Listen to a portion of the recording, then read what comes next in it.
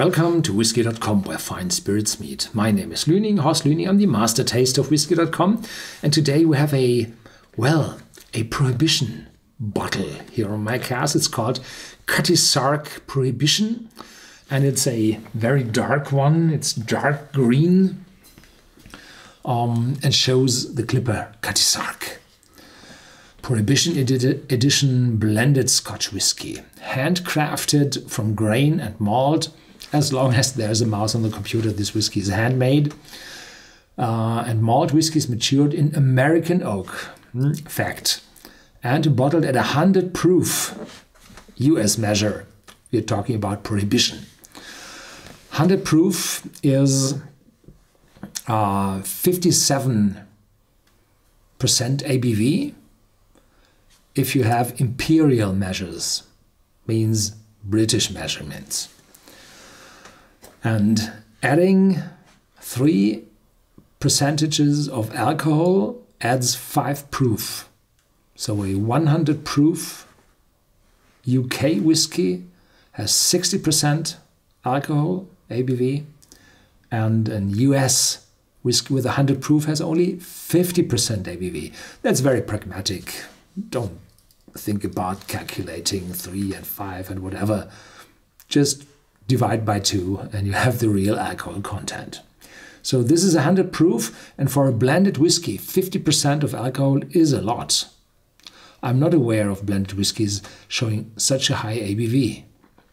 The bottle is well made in an old-fashioned style, very dark. There's engravement in the forms, and here they write since 1923. And if I remember right, I visited the Glenrothes distillery, and I hope that I have a picture here for the background of the Cutty Sark Museum there, um, where there is a a scene sitting uh, three people around a, a, chair where they start designing the Cutty Sark label, and they have this Cutty Sark clipper in front, and uh, these.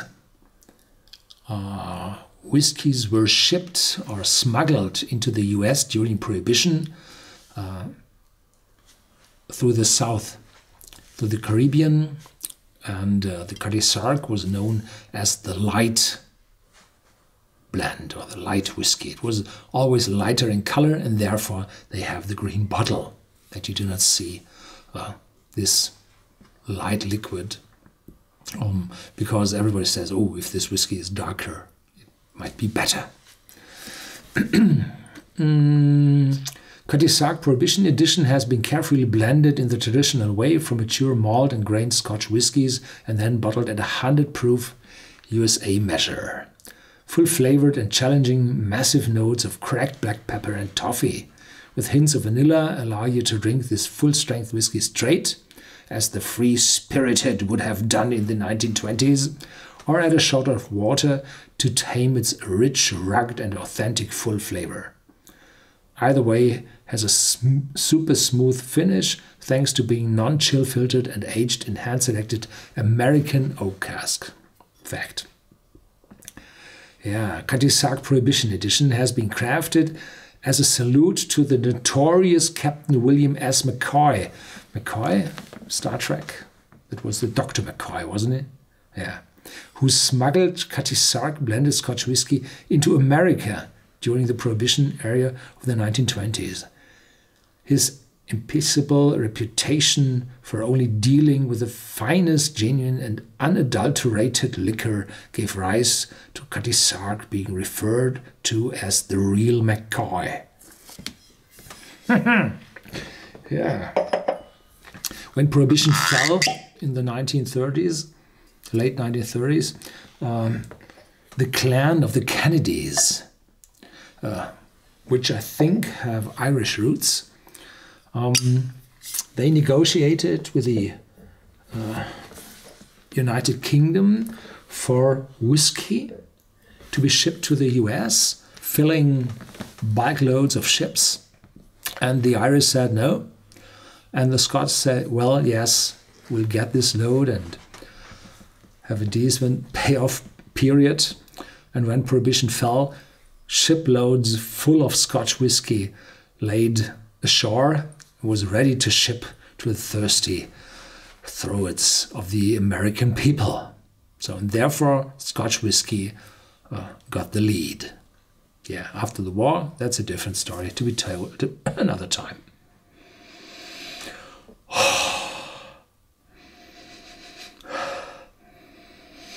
A wonderful full and lightly herbal spicy note in the nose. There's a lot of alcohol in it, already smellable.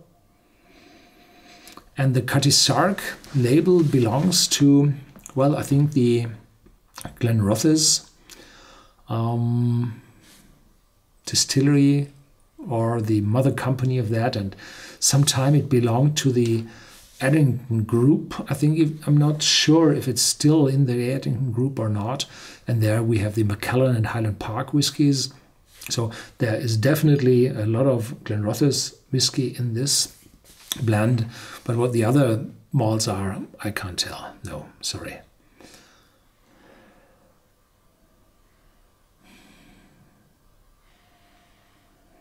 Yeah, there's uh, toffee and the pepper still not there. And there should be some honey, some citrus, but no, not yet. Mm.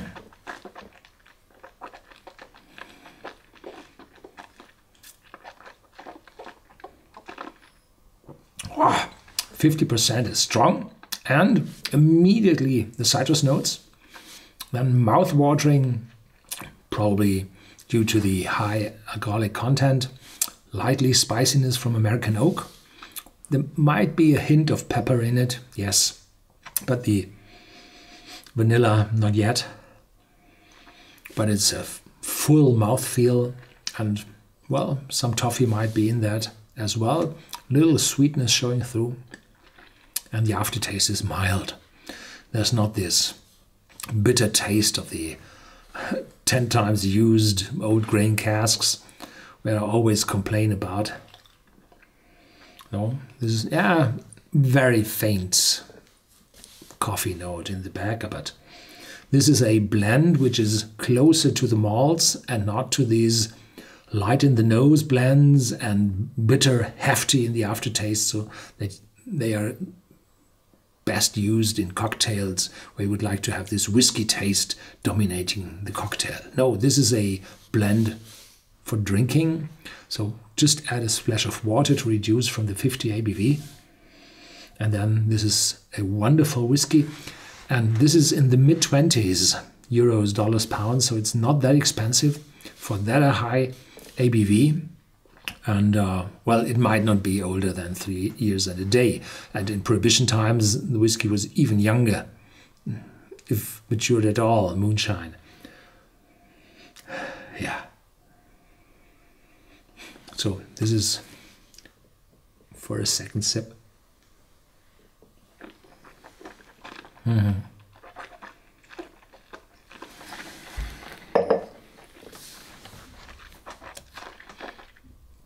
This is a really good one.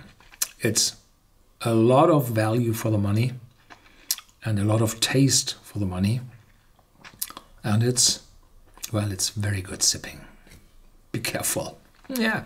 Thank you for watching. Stay tuned. As always, there's more to come.